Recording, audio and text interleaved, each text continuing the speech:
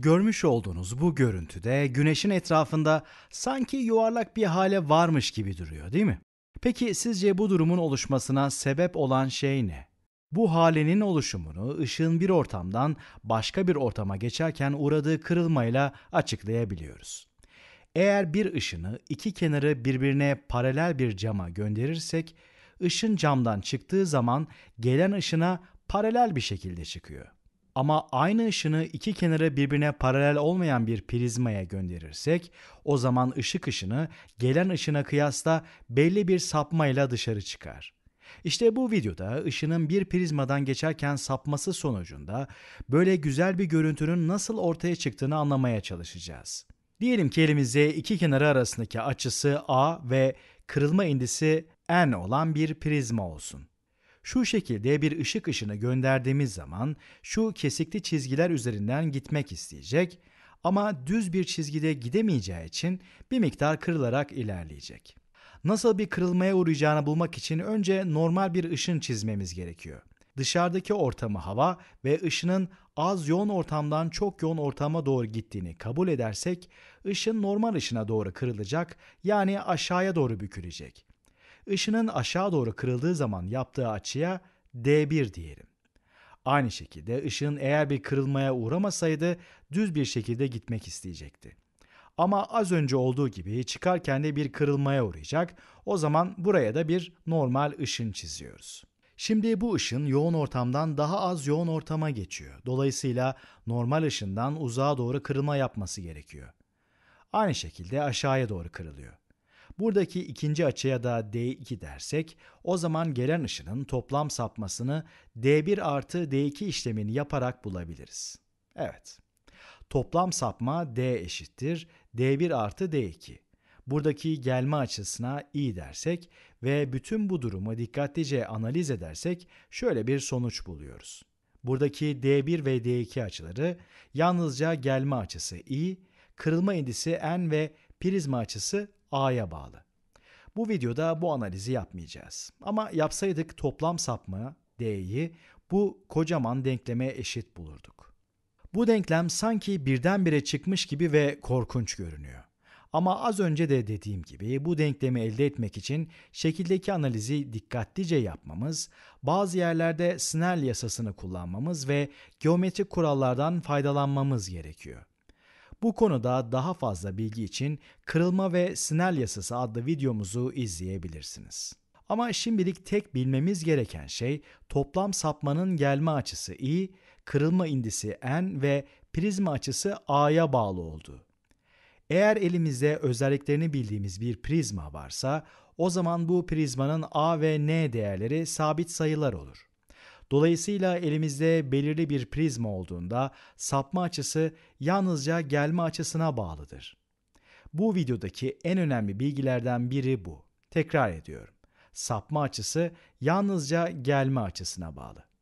Ama sadece bu denkleme bakarak D'nin i'ye nasıl bağlı olduğunu anlamak çok kolay değil. Mesela eğer gelme açısı i'yi arttırırsak D artar mı yoksa azalır mı?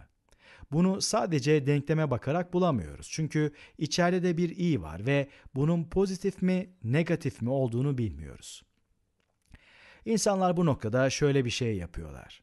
Genellikle DI grafiği çizerek aralarındaki ilişkiyi inceliyorlar. Bu grafiği elle çizmek tahmin edersiniz ki zor. Neyse ki bilgisayarlar bizim yerimize bu ilişkinin grafiğini kolayca oluşturabiliyorlar. Bu denklemin grafiğini çizdirmek istediğimizde karşımıza şöyle bir grafik çıkıyor. Gördüğünüz gibi az önceki korkunç denkleme göre bu grafiği incelemek çok daha kolay değil mi? Zaten bu yüzden genellikle o korkunç denklemi ders kitaplarında pek görmezsiniz. Onun yerine bu grafiği koyuyorlar. Ama bu grafik aslında az önceki denklemden geliyor. Bu grafiğe dikkatlice bakarak toplam sapma açısı D'nin gelme açısı olan i'ye nasıl değiştiğini inceleyelim. Gelme açısı eşittir sıfır noktasından başladığımız zaman d'nin belli bir değeri oluyor. Ama gelme açısını arttırdığımız zaman bakın sapma açısı da azalmaya başlıyor. Azalıyor, azalıyor, azalıyor ve minimum bir noktaya varıyor. Ardından gelme açısı ile birlikte artarak devam ediyor. Bunu görebiliyor musunuz? Bu videoda anlatmak istediğim en önemli şey bu. sapma açısının minimum bir değeri var. Peki bu ne anlama geliyor? Mesela toplam sapmanın minimum değeri 15 derece olsun. Yani şu şekilde bir prizmamız var ve bu prizmaya şöyle bir ışın yolluyoruz. Gelme açısından bağımsız olarak yani bu prizmanın ışınla yaptığı açı ne olursa olsun sapma açısının 15'e eşit ya da ondan daha büyük olması gerekiyor. Yani 15 dereceden büyük olabilir, ona eşit olabilir ama daha küçük olamaz. Buradaki 15 sadece bir örnek ve bu videoda anlatmak istediğim en önemli şey bu. Güneşin etrafındaki hali görme sebebimiz de bu. Şimdi bunun nasıl olduğunu anlatmaya çalışalım. Diyelim ki güneşe doğru bakıyoruz. Bunlar bize doğru gelen güneş ışınları.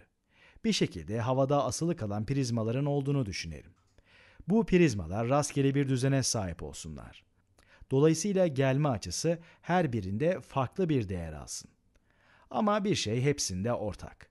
Çıkan ışın en az 15 derecelik bir açıyla sapıyor. Bu prizmalardan çıkan ışınlar gözümüze geldiği zaman prizmalar parlamaya başlar. Gözümüze gelen bir ışını inceleyelim. Buradaki önemli olan şey şu. Prizmadan çıkan ışının sapma açısı gözümüzle yaptığı açıyla aynı oluyor. Bunu görebiliyor musunuz? Bu açıyla bu açı aslında aynı açılar. O zaman bu açının da aslında sapma açısı olduğunu söyleyebiliriz. Ve sonuç olarak eğer bu açı 15 dereceden büyükse ışın gözümüze ulaşabilir. Ama eğer bu açı 15 dereceden küçükse ışın gözümüze ulaşamaz. Şimdi mesela şu prizmadan gözümüze gelen bir ışın çizelim. Eğer gelen bu açı 15 dereceden küçükse o zaman bu imkansız bir durum olur. Yani bu prizmadan çıkan ışın gözümüze ulaşamaz. Çünkü sapma açısı 15 dereceden küçük. O zaman buradan gelen ışın gözümüzün yanından geçer. Aynı şekilde yanındaki prizmadan çıkan ışın da gözümüze gelemez. Dolayısıyla sapma açısının 15 dereceye eşit veya ondan daha büyük olduğu prizmalardan gelen ışınlar gözümüze gelebilir. Eğer buradaki açı 15 derece ise yanındaki daha büyük sapma açısına sahip diğer ışınların hepsi gözümüze ulaşabiliyor. Ama dediğim gibi buradaki diğer prizmalardan çıkan ışınlar gözümüze ulaşamıyor. Sonuç olarak bu aradaki bu prizmaların hiçbiri bize parlak görünmeyecek. Yalnızca dışarıdaki şu prizmaları parlak görebileceğiz. Evet, zor kısımları böylece atlatmış olduk. Ama bu şekil iki boyutlu olanları anlatıyor. Gerçekte çevremizde olanlarsa üç boyutlu meydana geliyor. O zaman bunu bir adım daha ileriye taşıyalım. Buraya aynı durumu bu sefer üç boyutta çizdim. Ama bu durumda da az önceki söylediklerimiz geçerli. Buradan gelen bir ışının yaptığı sapma açısı 15 dereceden büyük olacak. Aynı şekilde buradan gelen ışının da sapma açısı 15 dereceden büyük olacak. Bu yüzden arada kalan prizmalar parlak görünmüyor. Ama altımızda ve üstümüzde kalan prizmalar da var. Dolayısıyla aynı kural diğer prizmalar için de geçerli. Yukarıda prizmalardan çıkan ışınların gözümüze gelebilmesi için aynı şekilde bu açının 15 dereceden büyük olması gerekiyor.